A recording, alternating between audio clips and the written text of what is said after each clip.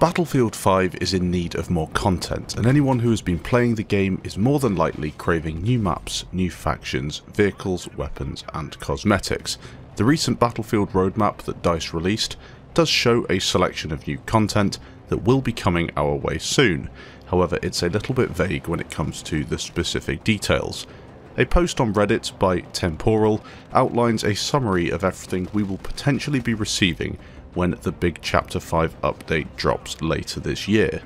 Chapter 5 is called Awakening the Giant and relates to the Pacific theatre of war between the US and the Japanese.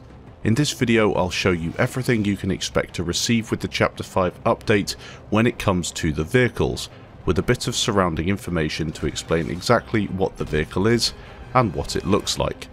Please bear in mind that this information is from a data mine and someone has trawled through the game files in order to get these snippets of information. As always with this sort of info, just because it's in the game files doesn't mean it will be coming to the game immediately, nor does it mean we will receive it 100% accurately either. The chances are that we will get all of these cool new vehicles, but as with things in the past, there is a slight chance it might not make it, or maybe it will come at a later date maybe a future chapter. There is also a large possibility more stuff is added to this list, so don't be disappointed if your favourite World War II vehicle doesn't appear in this video. This is mainly going to be connected to the air vehicles as there are only a few in this data mine and I believe there probably will be more when Chapter 5 releases. Starting out we'll take a look at the ground vehicles. Firstly we have the M4A3 Sherman, the medium tank. This tank was the most widely used medium tank by the US and Western allies in World War II. The M4 Sherman tank was produced in several variants and was also the basis for a number of related vehicles. This means we could see some slight variants attached to this M4 medium tank. The M4A3 was the preferred US Army vehicle. There is a large chance that we will receive the T-34 Calliope variant since the Calliope rockets were spotted in the game or in the game files. Next up we have the Type 97 Chai-Ha, a medium tank. This was used by the Imperial Japanese Army during the Second Sino-Japanese War, the battles of Khalkhin Gol against the Soviet Union and the Second World War. It was the most widely produced Japanese medium tank of World War II. Next up we have the Type 3 Chai-Nu, another medium tank. The Type 3 medium tank Chai-Nu was a medium tank of the Imperial Japanese Army in the Second World War. Like the Type 1 Chai-He, this tank was an improved version of the Type 97. It incorporated a Type 3 75mm tank gun, one of the largest Japanese tank guns during the war. I expect this vehicle to pack a punch when it appears in Battlefield 5. Next up we have the Ford GPW, the Willys MB and the Ford GPW, commonly known as the Jeep, are off-road capable light military utility vehicles that were manufactured during World War II. This, of course, links to the Allied forces, and this is something I thought we'd see when Battlefield 5 released, but of course we didn't have access to the US faction. It is synonymous with the Second World War. Next up we have the staff car. This kind of relates to Firestorm because we've seen similar things appear with Firestorm with transport vehicles. Of course it's a vehicle used to get around the place mainly by senior military officers and is part of the White Fleet. That is the country's fleet of staff cars or vehicles. Staff cars are often painted in camouflage colours or plain black and you'll also see them in a flat olive drab. This could relate to the cosmetics in Battlefield 5. Next up we have the Type 95. This is a Japanese scout car and was used during the war with China and of course in World War II in the East. Between 1936 and 1944 approximately 4,700 were built and it's the only completely Japanese designed reconnaissance car ever used by the Imperial Japanese Army which tended to use civilian cars for most of its work. Moving on to the air vehicles, as I mentioned earlier, there are only two here, and I expect to see more when the game does reach Chapter 5. The Vought F4U Corsair. This is many people's favourite air vehicle, or at least in their top couple of air vehicles that they would love to see in the game. The Corsair was designed and operated as a carrier-based aircraft and entered service in large numbers with the US Navy in late 1944 and early 1945. Some Japanese pilots regarded it as the most formidable American fighter of World War II, and its naval aviators achieved an 11 to 1 kill ratio. It was formidable, it was very strong, and it would do a lot of damage to the Japanese during the late parts of the Second World War. Next up we have the Mitsubishi A6M0. This is a long-range fighter aircraft formerly manufactured by Mitsubishi Aircraft Company and operated by the Imperial Japanese Navy from 1940 to 1945. The Zero is considered to have been the most capable carrier-based fighter in the world when it was introduced early in the Second World War, combining excellent manoeuvrability and very long range. Now what I'm interested to see is whether DICE will make it one of the better planes in the game, or are they going to take a look at it and think, we'll just balance it out, and it'll be one of many planes in the game that you can play, and they all have their specialties, and maybe a couple of downsides as well. Maybe they'll link it into the specializations in the game, we will see. Now on to the sea-based vehicles and the naval vehicles in Battlefield 5. The Type 2 Ka-Mi, the special Type 2 launch Ka-Mi was the first amphibious tank of the Imperial Japanese Navy and it's also based on the Imperial Japanese Army's Type 95 light tank with some major modifications. Next up we have the landing vehicle Tracked LVT. It's an amphibious warfare vehicle and amphibious landing craft introduced by the US Navy, originally intended as a cargo carrier for ships to shore operations, they evolved into assault troop and fire support vehicles. Next up we have the PT boat, short for Patrol Torpedo Boat.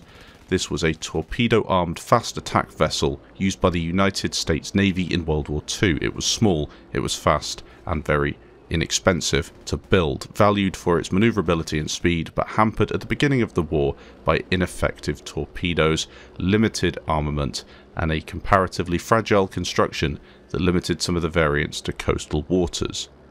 The LCVP, the Landing Craft Vehicle Personnel or Higgins boat, was a landing craft used extensively in amphibious landings in the Second World War. The craft was designed by Andrew Higgins, based on boats made for operating in swamps and marshes. Next up we have something that doesn't really have a place on a vehicle list but it is in the data mined files. It's a dinghy. Submarine warfare in the Battle of the Atlantic led to casualties among warships and merchant ships, and in the military, inflatable boats were used to transport torpedoes and other cargo, and potentially troops to get into shallow water and then land and then go on foot from there. What variant of dinghy we will receive, I don't have a clue. The guy who data mined this information also doesn't know. Potentially it could be something large, maybe for four to five people, or it could be a one to two person dinghy. I'm not sure. Finally, we have the MTBT-1, the motor torpedo boat. This probably relates to the Japanese with this class identifier, although there was some German boat as well, also known as T1s, mainly the 1935 type. However, it will probably be related to the Japanese vehicles in this patch. There are also a few unreleased tanks from the previous data mine that haven't come to the game yet, however there is a bit of information on them. Anyway, as I personally think they will reach us at some point in the near future. On screen now you can see the Bishop, this is a self-propelled artillery British vehicle based on the Valentine tank and armed with the 25 pounder gun howitzer which could fire either 87.6mm HE shell or an armour piercing shell. The vehicle was designed quickly and production was rushed, meaning it had many problems when released, limiting the number made and leading to it being replaced by a better design. Next up we have the Marder. I'm not sure what variant of Marder we will be receiving, could be the 1, the 2 or the 3. However the Marder 3 was a German tank destroyer that offered little protection to the crew with its open top fighting compartment but significant firepower compared to other tanks of the time. Maybe DICE will again look at the specializations with the Marder in order to make it very very offensive and powerful but very poor when it comes to defending itself against other tanks. Next up we have the Grille I think that's how you pronounce it. It's a self-propelled artillery vehicle used by Nazi Germany during the war and was based on the Panzer 38T tank chassis, a tank that we already have access to in Battlefield 5. Next up we have tank customization. It hasn't come to the game yet, but advanced vehicle customization has been coming soon for quite some time with different types of chassis and turrets being something players have wanted since it was first teased in the trailer last year. So far we are aware of four sets with common, uncommon, rare and epic turrets and chassis variants for each tank and although some of the epic ones will be hidden behind the Battlefield Coins microtransaction system, I'm sure some will be purchasable with company coins. Some people are excited for the Japanese cosmetic items that will almost certainly accompany the introduction of the Japanese faction in Chapter 5, whilst others remain apprehensive due to the recent microtransaction update. Cosmetics are great, but if they cost over $7 each, you can't realistically expect to get access to many of them unless you break the bank and don't really care about how much you spend. Mainly I would say that people are excited to see the US and Japan in the game. So far we've only had access to a very small portion of what occurred in the Second World War, and as Battlefield has historically been a game that doesn't fail to deliver on that all-out war, wide-scale environment, it has been fairly disappointing to only gain access to two factions so far. This Chapter 5 update might be what is needed to really push BF5 to the next level, but will it be in time? I personally have to comment that there are very impressive numbers of vehicles in Battlefield 5, assuming the ones I've just spoken about make it to the game, and although this doesn't necessarily mean the game is great, it does combat some of the arguments that state the game has no content.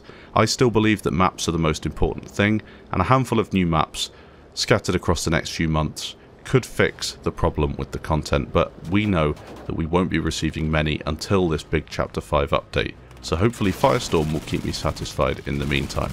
Let me know what you think of this down in the comments, let me know what you think of this data mine as well. Are you excited to see these vehicles coming to the game or was your favourite vehicle missed off the list? Thanks for watching and I'll catch you in the next video.